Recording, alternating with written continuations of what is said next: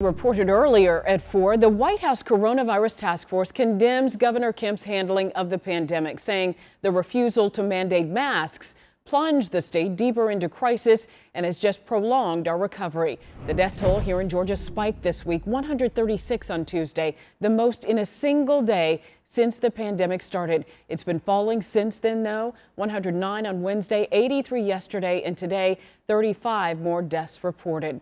Joining us to shed some light on the issues facing the state, Dr. Harry Heiman, clinical associate professor in the School of Public Health at Georgia State. Uh, Dr. Heiman, uh, thank you for being with us. Uh, we do want to talk about these numbers. Certainly, the increasing number of deaths is, is very concerning for us, but how do we reconcile the numbers with 3,300 new cases of COVID 19 reported in the last 24 hours? I think we're seeing a pretty predictable trend.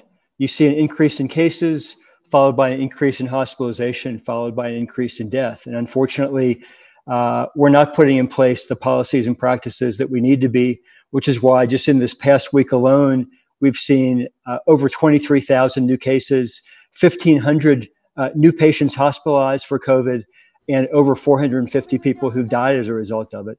Uh, uh, it's, it's, very unfortunate. You talk about some of the policies, uh, Doctor, and of course, one of those is a mask mandate. And we've been watching a legal battle that seems to have died down for now between the governor and the mayor over a mask mandate. How much of a difference would a mandate make at this point?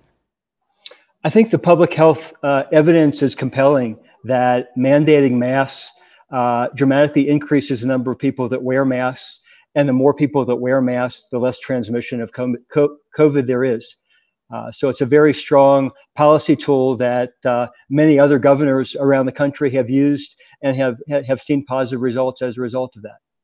And the task force also recommending, you know, some businesses uh, closing, of course, to um, uh, prevent some of the spread of COVID 19. But a lot of the businesses and obviously schools already open. So, how do we unring this bell?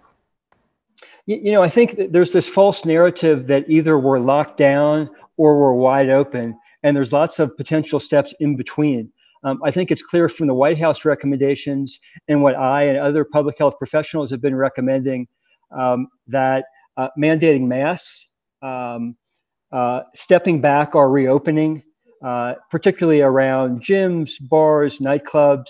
Um, I think it's it's uh, also not safe right now to have indoor dining in restaurants. Uh, and I think that it's not safe to reopen schools and universities to in-person instruction. Hmm. Dr. Harry Heiman is clinical associate professor in the School of Public Health at Georgia State. Dr. Heiman, thank you so much for your time today. Thank you.